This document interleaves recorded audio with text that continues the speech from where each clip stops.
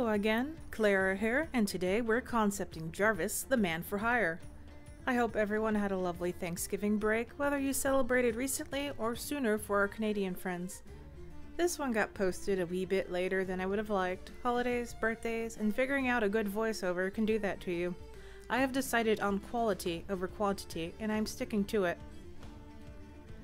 And if you do not know me, I go by Klareh and I create characters in the worlds they live in. First order of business is working on concepting characters for the first graphic novel. And today, Klareh is doing what she does best and bites off more than she can chew.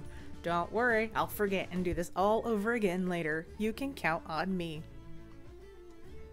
This one took me much longer than normal to create, as I introduced new challenges to myself in this one.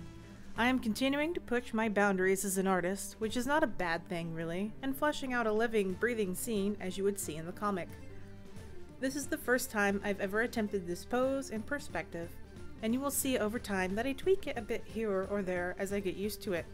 Drawing the bottoms of his boots took me quite some time, as this was yet another thing I never really put much attention to in the past. And yes, it is time. It is time for references. I referenced the pose. I referenced the perspective of his feet. I referenced his boots and his hat, his coat. In past videos, I spoke about how I was intentionally avoiding using references as a personal test to gauge where I was. And since I only saw art as a fun hobby most of my life, I never put a lot of effort into references, so I knew my mental library would dry up real quick. Times are changing, and so am I. My Pinterest board is suffocating with a billion references that I know I will forget I have, but they're there, and hopefully I can always go back for inspiration or to study to further my skill. Each drawing has its own folder on my computer, where I keep all the references I use for each piece. Not only did I fill my plate with a living pose, I also wanted to give him an environment to exist in, and lucky me, he's inside a very pompous noble's house. I wanted to fill the room much more with trinkets and decor, but I had to actually snip a few things to keep my workflow timely. The more I worked on this piece, the more I thought about how rendered do I want the comic pages to be, keeping them up to my expectations of quality while also delivering them in a timely manner.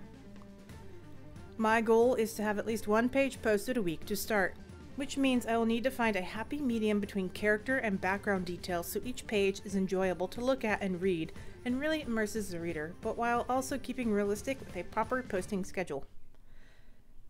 I've seen comics that post weekly, and they go on for years. I have many more stories I want to write the script for, so many more characters to share with you. So far, my current guess is a painterly background, with the farther away being more painterly, and the closer objects in the background to be slightly more rendered and relevant. I'm sort of dabbling with that concept here. A noble's room is usually grossly ornate, full of showing off their power and riches. Thuron is no exception. The nobles of Torglan collect artifacts and relics from the destroyed ruins of fallen cities before the still wall went up, making their houses very, very cluttered. Going back to this piece, I swapped the brush I was using for line art in the past few videos to a slightly softer one to try it out. The downside with this brush is that it jacks up my wrist real good if I use it for too long. I may have to dabble with the pressure sensitivity for my wrist's sake.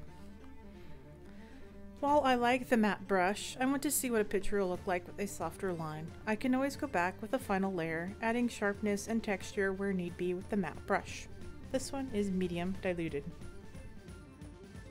Now, to talk about the character for a little bit.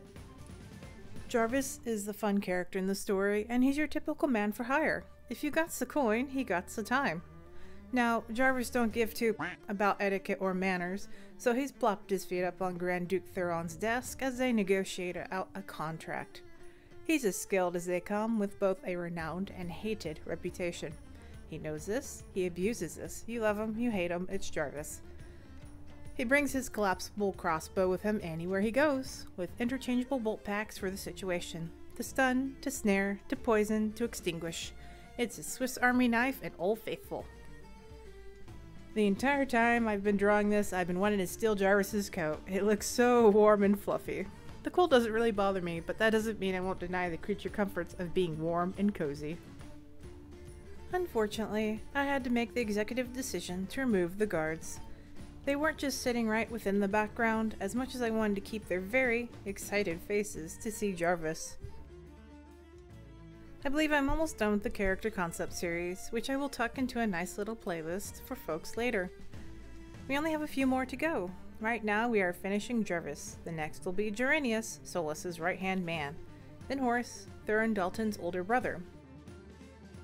I may add Arcturus to this series, or just keep adding new concept videos to the playlist as the story goes on and we get more characters. I want to get their appearances down, their basic attires, and their personalities.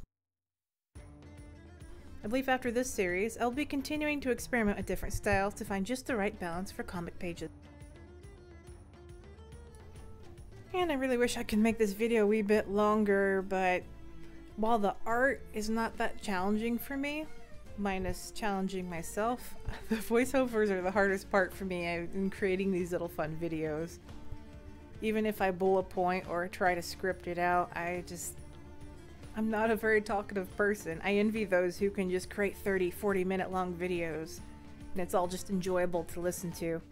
I'm sure with time and practice, I'll get a little better each time. But right now, it's just... Bleh. Next video will be Gerenius. We'll be playing with some hard shadows in that one. Thank you for hanging out today. If you like, share, and subscribe, it helps support my channel and what I do. And I will see you in next video. Have a good day.